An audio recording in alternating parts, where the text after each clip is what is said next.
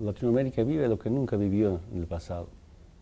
Su integración, su complementación de presidentes de pueblos orientados a una segunda liberación, yo diría, definitiva.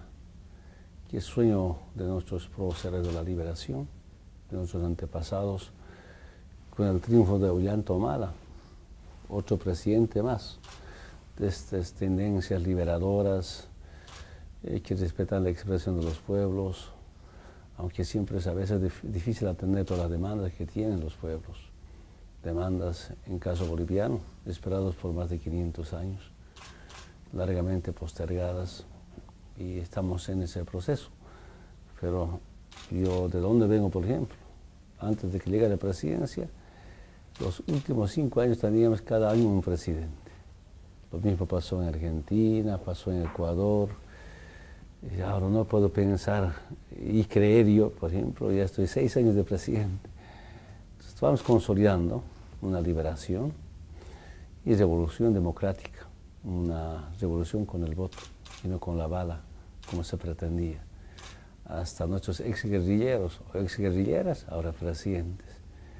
Esa es la gran rebelión de los pueblos de, Latinoamérica. Por tanto, los procesos de interacción, de comercio, eh, de inversión es tan importante. Mercosur es un gran espacio. Eh, los países del Mercosur nos dan ciertas facilidades y nosotros hemos propuesto integrarnos. Será todo un proceso la interacción al Mercosur, pero también tenemos UNASUR ya eh, legal y constitucionalmente arranca este, eh, eh, esta interacción mediante UNASUR. Yo decía acá cuando nombramos al expresidente, que en paz descanse, Néstor Kirchner, nombrado como secretario general de UNASUR, es el primer presidente sudamericano. Es una gran integración. Nuestros representantes lamentamos todo lo que pasó. Este proceso continuará. Hay comisiones de trabajos, comisión de defensa, últimamente estaba en sesión acá. Eh, los próximos días va a haber una reunión del Parlamento Sudamericano en Bolivia. La sede principal del Parlamento Sudamericano está, está constituido o decidido por el Tratado de UNASUR en Bolivia. Eh, nuestra responsabilidad es garantizar un gran espacio, estamos en esa tarea. Eh, esta regionalización de la lucha contra el narcotráfico a veces cuando Estados Unidos tiene que hacer alguna certificación, desertificación a los países, yo digo, qué, qué importancia, qué, bueno, qué autoridad tiene para decir que va a certificar o desertificar. Más bien los países de Sudamérica deberían desertificar o certificar a países donde es el origen del narcotráfico, el mercado, y el mercado viene del norte.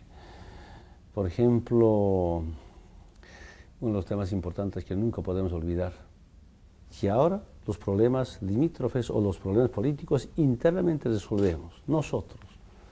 Antes, cuando hay un problema político, los patrones desde el norte, problemas limítrofes desde el norte.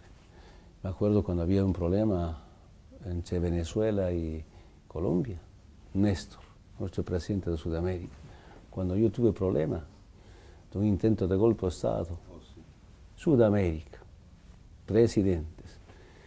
Y hay, hay que saludar la inclusión de la clase democrática en el Tratado de Nasur, que en Bolivia ya mi parlamento aprobó, el parlamento boliviano ya aprobó. Esperamos que puedan aprobar para incorporar esta cláusula democrática. Son países democráticos, por tanto, si hay algún golpe de Estado en algún país de Sudamérica, no se reconoce. Saludamos estas grandes iniciativas. Por tanto, hemos dado pasos importantes en la liberación de nuestros pueblos. Mm, por eso convencido que eso será una liberación definitiva. Hace dos o tres días, no sé cuándo iban, eh, los organismos internacionales afirman que en pocos años bajamos el 11% ¿no? de la pobreza. Eh, eso nos alienta. De acuerdo a nuestros datos, es más. Que un organismo internacional diga, estamos muy conformes. eh, siempre podemos revisar. Uno, eh, una, política muy importante es esta renta dignidad. Personas mayores de 60 años mensualmente reciben 200 bolivianos. La jubilación que nosotros decimos. Eh, una con la jubilación, pero allí un 18 a 20% se jubilan.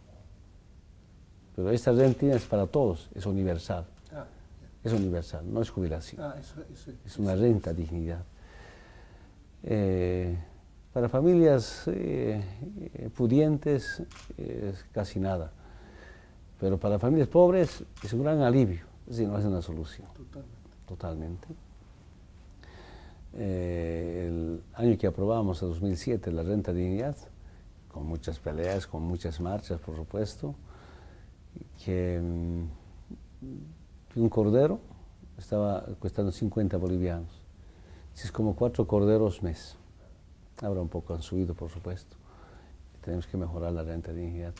Si eran dos familias, dos parejas que tienen más de 60 años, cuatro corderos mensuales. Mm, ya, es una solución. Yo me acuerdo, mi madre, cuando era niño, cada mes vendía un cordero para comer. Eh, para azúcar, para verdura, unas cositas, pero teníamos papa, trigo, agua, país, no faltaba eso, carne tampoco, tenía que comprar, pero sí para algunas cuestiones muy básicas.